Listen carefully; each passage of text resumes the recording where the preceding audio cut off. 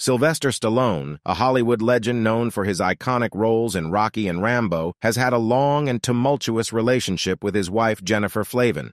According to Stallone, he was immediately drawn to Flavin's beauty and talent, and he knew that she was the perfect actress to play the role of his love interest in the film. Their early relationship was marked by intense passion and dedication. Stallone has said that he fell deeply in love with Flavin and that she was the only woman he had ever truly loved. Flavin, on the other hand, has spoken about how Stallone's intensity and drive inspired her and pushed her to be her best both personally and professionally. However, like any couple, Stallone and Flavin faced their fair share of challenges and obstacles over the years. In 2015, the couple announced that they were separating after 24 years of marriage. The reason for their separation was not made public, but it was rumored that Stallone's infidelity had played a role.